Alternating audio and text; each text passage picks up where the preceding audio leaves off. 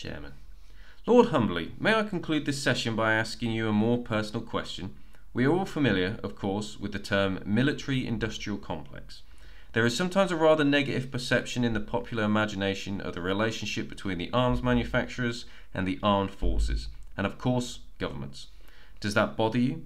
After all, your entire career has been in the defence industry. Witness. Actually, I suspect the popular imagination of what you are speaking is quite relaxed about the relationship. Do not forget that the defence industry employs many thousands of people, often in highly skilled jobs, and earns this country billions of pounds in export. As for the armed forces, well, they are held in the highest public esteem. Chairman. We don't forget about any of that, Lord Humbley.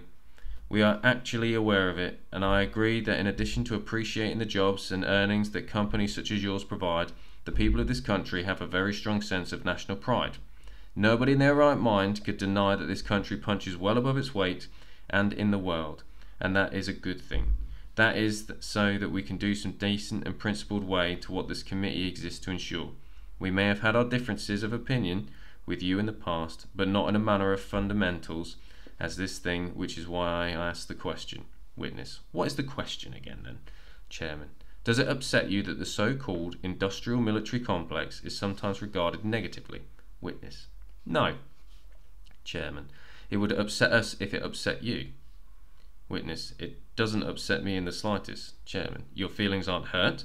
Witness. Not a bit. Chairman. Well, that's a release to us all, Lord Humbley. For some years now, we have benefited from the wisdom of your expertise whenever you have come before us, and it was like the record to show that this committee is grateful for the insights into the workings of the defence industry and that your expert evidence has given us witness. As I think you may have said on the previous occasion, you're very welcome.